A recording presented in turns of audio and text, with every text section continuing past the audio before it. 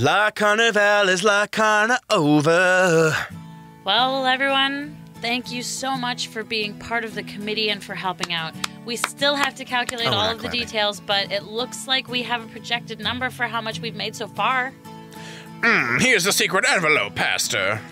Thank you, Agnes. Now then, let's see how much we've made.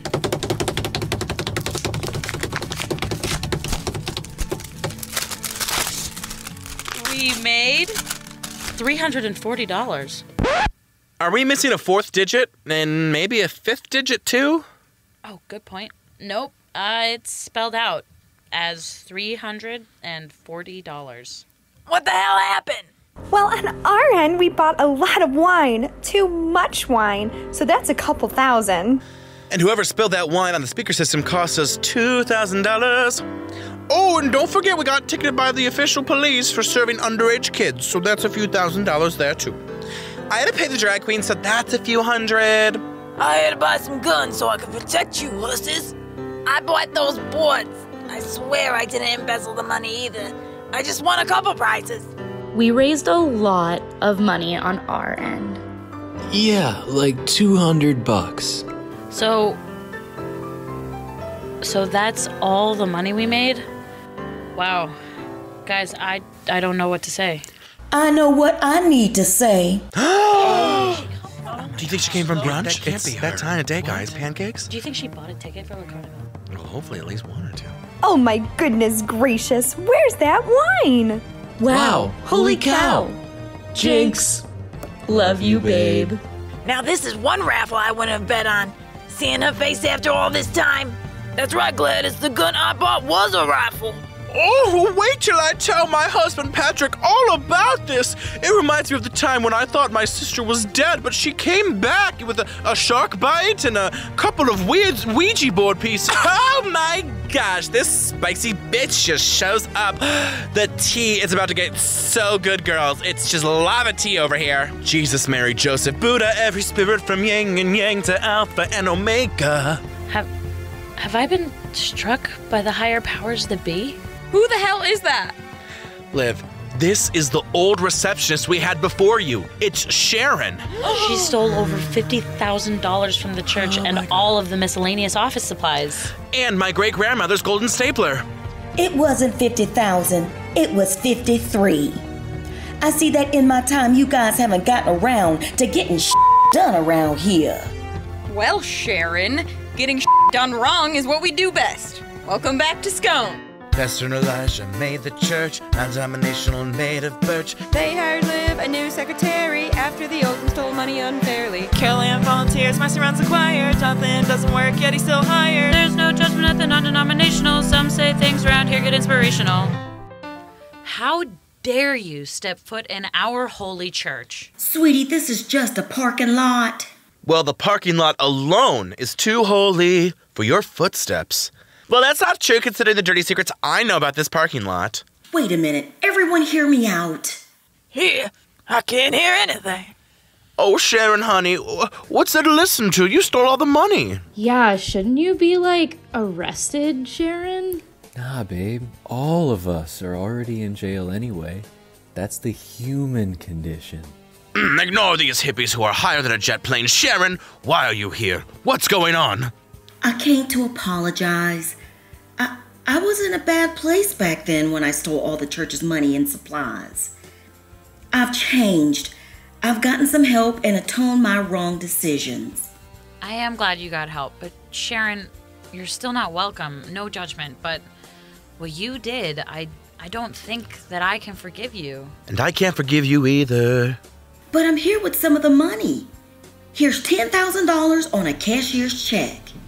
Oh wow, that's a lot of zeros. Well, if Sharon had never taken that 53,000, we would have had that amount accruing interest in the church bank account at the modest guesstimate of 6.5 interest, which would have been accruing roughly $287 monthly. And that's just principal interest. So adding up the interest lost over the 12 months that you have been gone, we've lost what could have been $3,444 respectively. Oh my gosh, I thought this kid ate paint. What? Um, what the hell? Is Ricky math whiz? Is this new information? Peter's gay. We all thought Ricky was just a paint eating dummy who worshipped Annabelle. Hashtag friendzone.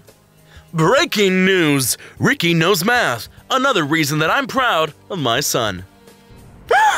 Peter, oh my gosh, we should help Ricky pursue his newly revealed math skills. Maybe he can go to a math camp. Ricky, where did you learn all of this? Gladys brings me to her special card games in the basement. Uh, th th th card games? Who, who said anything about card games? Last thing I heard was Sharon was giving us some of her money back that she stole. Which is just one fifth of the money that Sharon stole. And I'll pay the rest of the money back. I promise. Wait a minute. I- I'm confused. Sharon, you come in out of nowhere with some of the money you stole and expect everyone to believe you have no ulterior motive? Like I've said, I've changed my wicked ways. I'm ready to redo all the wrongs by giving back all the money I stole and dedicating some time to Scone. You mean you want to atone by volunteering around Scone? Exactly. What's the best way to work towards redemption? By putting in some hard work around this parish. Sharon, this is a lot to think about. Please think about forgiving me. I know that might be a lot to ask, but I think I deserve forgiveness. Well, like Jesus in the river or Abraham up the mountain, I will need some time to think about this. I still have the same number, so please call me so I can begin making up for all the things I did. Really, bitch? Because when you first left, we tried to call you on that number and that line was disconnected. That's because I dropped my phone in the toilet. Not because I was avoiding you or anything, but my phone number is working now. All right, I must be going. We will be in touch. What just happened? What is she doing here? What, what do you think happened? Oh my god, she actually. Is that a cashier check? I thought that she That's gonna clear. in prison. That's money. How does we have I don't know, ten thousand dollars on a cashier's check. Like, Old secretary Sharon is back. Was that one of them drag queens?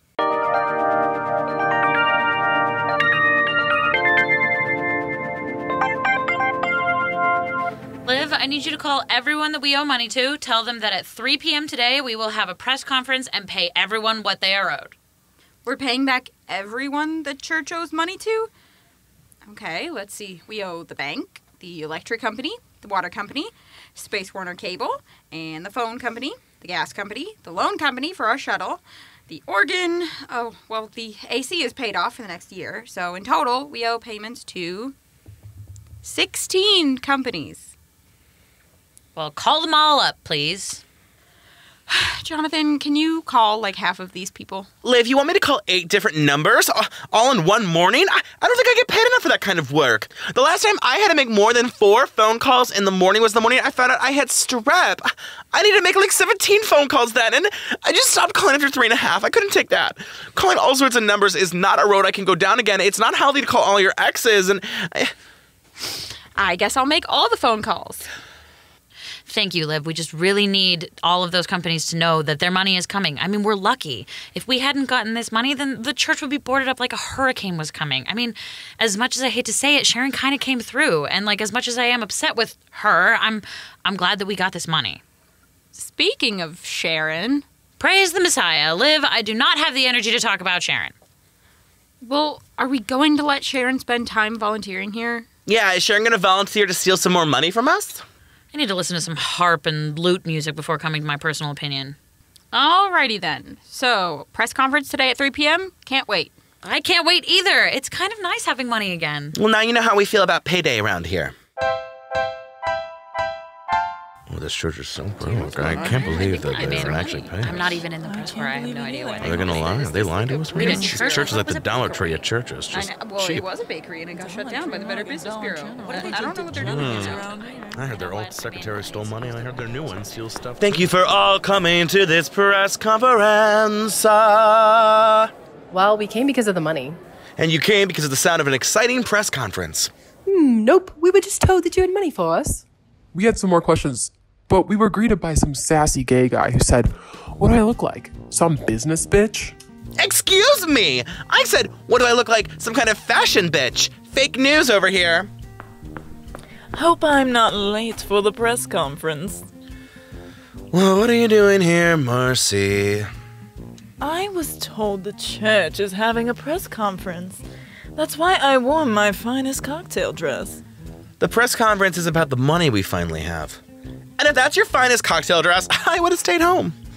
Oh, I thought this press conference was about the colorful celebrities of the church. We have colorful celebrities at this church. Mm, yeah, in the color of slime green and urine. I'm sorry, there's just one colorful celebrity, and that's me. Well, I hate to burst your bubble, Marcy, but you're gonna have to sit in the back. Oh, no worries, Elijah. I'll hang around towards the end and see if anyone has any questions for me. Mm, they won't. Thank you for coming, everyone. We invited you here so that we could give you all of the money that we owe you, and we just want to say thank you for being patient. We did repo your shuttle and organ, but we're ready to give it back, mainly because we realize that we can't make money on either a half busted organ or a 1972 Volkswagen van. Really, though, a 1972 Volkswagen van, is that even safe to drive? Well, the car is safe, but sometimes the person driving said car isn't safe. Oh, I'm the only one who drives on that shuttle. Oh, so that's about me. First up is the bank. Here's $2,007. Why are these checks so large? Are these fake checks? They're fake checks, but the money is real. I'm confused. Is the money real? Or is there no money? Maybe they called us here for this press conference to kill us or something. I told the pastor we shouldn't have printed the giant checks. Well, if the check isn't giant, I'm not gonna cash it. Let me guess, if the check isn't big, you're not going to cash it with your ass? Oh my gosh, Liv, no! I meant cash it in the bank. Jesus! Carol Ann, can you start to pass out the giant checks, please? Oh, I'm afraid my arm length isn't long enough to hold these checks. You see, back in the day I played varsity basketball, but age takes a few things like arm and wing length and. Uh... Carol Ann, we are in the middle of hosting a press conference, not an anatomy class. Oh, my apologies. Here are some giant checks. You get a giant check for electricity, for water, for gas bills. Ow! Ow! Yikes! Ow. Watch it with that check. Oh, sorry, I didn't realize it was so heavy. Oh. Here's some money for the AC company. Oh, you guys paid up for the next year. Oh, yeah. Gladys used some guy's, I mean, her husband's credit card. And if we don't owe you money, then why did you guys come? Well, someone who called me said there would be a free box of lunch. I didn't say a free box lunch. I said you could launch into my free box. Okay, so you don't you don't need this giant check. Well, I'll still take it. Why? Well, there's no money, right? These are fake checks. I can take it back and hang it in my office. No, this is real money. Sharon. Sharon, what? I'm sorry. You were saying? Uh, sorry. Well, our old secretary recently returned some of the money she plundered from us. And her name was Sharon? Sharon is a sore subject that we have to address. Well, if you're addressing this old secretary the way you address these old debts, then it'll take what, six months to address this Sharon? Moving on. Here's some money for the fabrics, the smoke detectors, the smoke machine, the anti smoking poster collection, the smoke and toke drug sweaters, the smoking rat electric scooter we had in the garage. Oh, and a check for Fresh Foods, who supply us with vegan protein bars, flax chips, and fair trade water. Oh, great. We'll get you your next shipment soon. Oh, well, I hate to say this. Uh, I hate telling people bad news. Business isn't personal, kid. Spit it out. When, when I was younger, I was taught not to talk back to people. I thought this was a press conference, not a group therapy session. Fresh Foods. We've decided to forego buying your products because it's expensive and it's not in the budget. I thought they canceled Glee. Why is this guy singing every two minutes? Oh, we're not Glee. Nobody can dance around here. Excuse me? I understand that you're canceling. Fresh Foods is a high tier product that is not for lowbrow companies and organizations.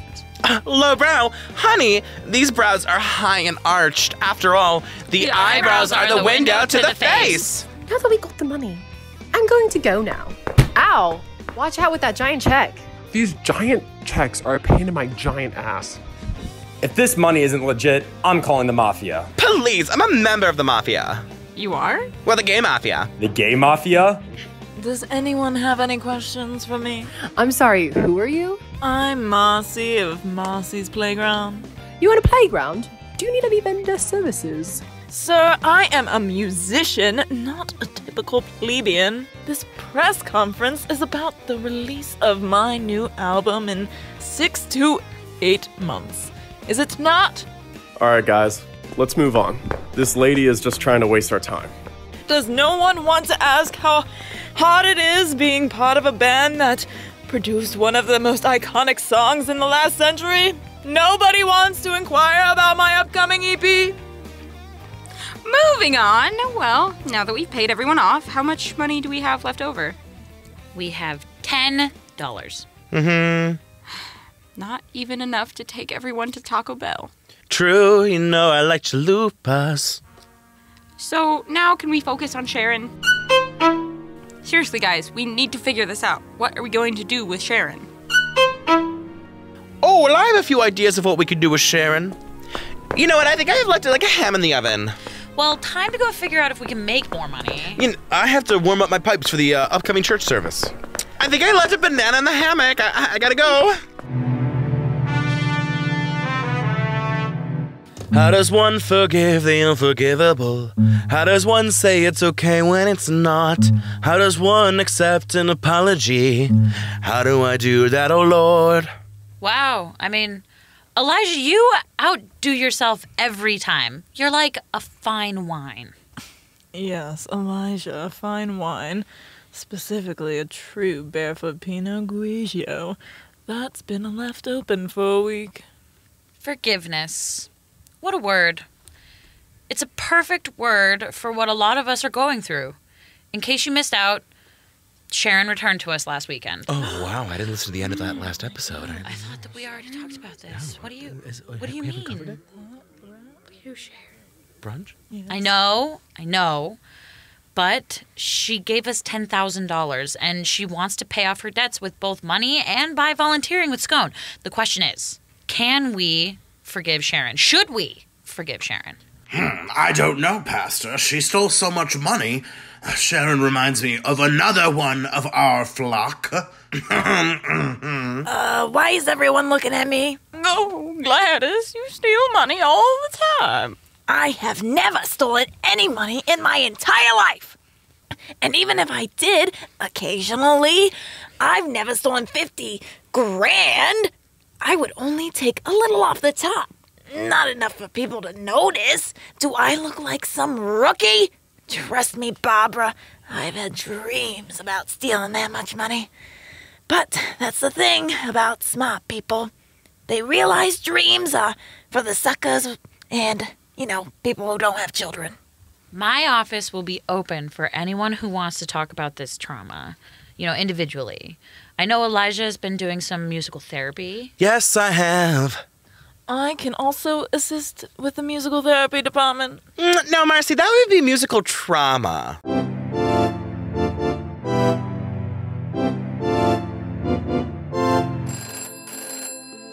Scone, this is Liv. No, we are not a bakery. No, I couldn't bake you a cake. Yes, seriously. You'll have to find someone else. I, I don't care what Google says. Liv, are you busy? I'm free now. What's up? Oh, I'm, I'm sorry. I, I forgot what I needed. Um, Elijah, are you okay? Well, well, I've been feeling. Ooh. Okay, Elijah, your response is too long for me to pay attention to. I, I just can't. Elijah, you can tell me what's going on. It's just this whole thing with Sharon. Oh, yeah, it, it's difficult. I remember that day, the last day, so well. It was six months ago. A beautiful day.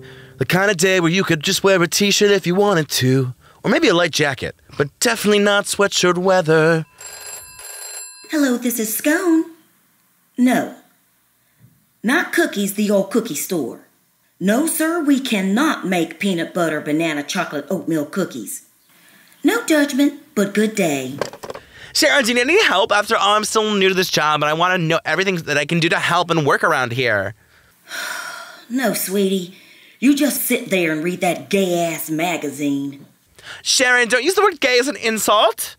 Boy, that magazine you have is called Gay Ass Magazine Monthly. Oh yeah, no wonder there's so many bare asses in this magazine. Sharon, have you, uh, Sharon, Sharon, have you seen my great grandmother's stapler? I haven't. Where did you last see it? It was on my desk. Maybe it's a sign you need a new stapler. I don't, I don't know. Well, it's a solid gold stapler. Solid gold? My great grandmother smuggled it out of Russia. I thought you were Irish. She went to Russia for a vacation during the Soviet Revolution.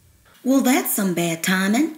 That's like when I took vacation to Seattle the day Amazon announced they were canceling human rights. The traffic was terrible. Good morning, children and adults of God or a generic higher power or someone or something more specialized. Pastor, have you seen my great grandmother's stapler?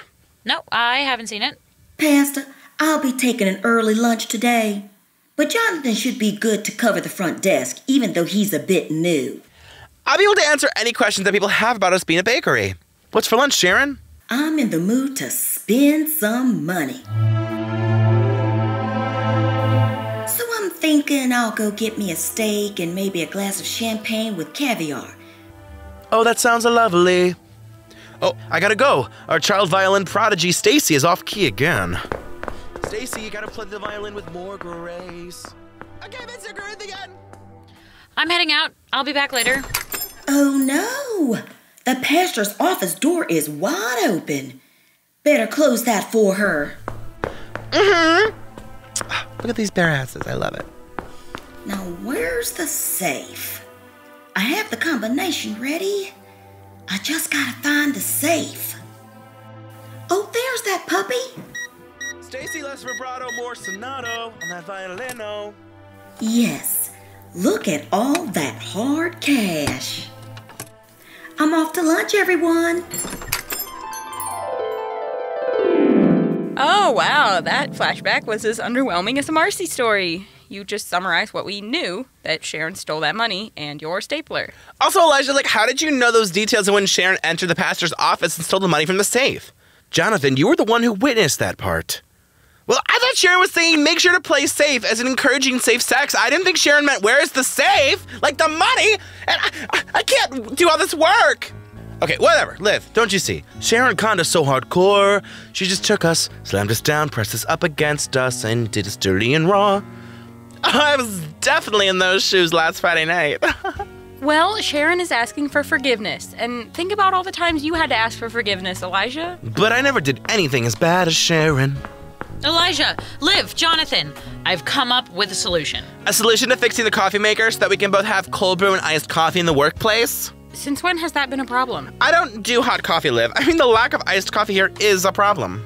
What have you devised, Pastor? We should have a circle. Oh my gosh, a circle. A circle jerk? Clearly not that kind of circle. Pastor, what do you mean by a circle? It'll be like a giant intervention, forgiveness, rant circle about Sharon, and it'll be open to the public. The public? Do you just mean the parish? The same difference. Well, Carol Ann, I need your help now, please. That also happened last Friday. Jesus, you're lucky we don't have an HR department. I am the only resource for humans this church needs. Also, we had an HR guy for like three hours before he quit, and we've been fine without him. Yes, of course. Never mind our several pending lawsuits. Oh, I came as oh, quick as oh I could. Oh, whew. Carol Ann, that took you nearly 20 seconds. That is four more seconds than usual. We oh. don't have time for your daily dilly dallying. I need you to go buy a hundred candles from Mystic Mama. but the the bus doesn't go that far. Whew. Maybe Mystic Mama will do a drop off. After all, a hundred candles is a huge order. Do you guys maybe want to use like generic candles instead? Because Mystic Mama charges $10 a candle. Well, since Sharon returned with some money, we have some money to burn. Uh, We're still in debt, right? And didn't we already spend all that money except for like $10? We set aside a lot of money for wine and candles. Every religion has wine and candles after all. That feels like a stretch. Well, what do you think? Maybe if we have a circle, we will find the ability to forgive Sharon. I agree. I want to forgive Sharon, but I don't know if I'm ready yet. Maybe the circle will make me explode with love. That actually wasn't part of last Friday. Ah, I shuffled all the way over here for this bullshit. Non Denominational Season 2 was executively written and produced by Matt Hribar and Blaze Pratt. Leave a five star rating and a comment rating if possible. Non Denominational Sitcom Podcast was co created by Matthew Hribar, Blaze Pratt, Karyn Adams, and Kelsey Shawgo. Music and sound effects collected from freesound.org, audionautix.com, and some originals by Matthew Hribar. Thank you to our regular cast of voices this season, which included Karen Jones, Annaliese Hribar, Paul Laux, Jessica Lockhart, Emily Terry, Reggie Pratt, Joanna Malson, Julia Adams, Amy Adams, Kyle Pratt, Andy Magee, Jordan Euell, Michelle Morgan, Maria Cross, Dennis Baker, River Onwudinjo, John Toth, Scott Terranova, and others who contributed. Check out the website for more information at www.nondenominationalpodcasts.weebly.com or check us out on Instagram at non-denominational scone. Until next time.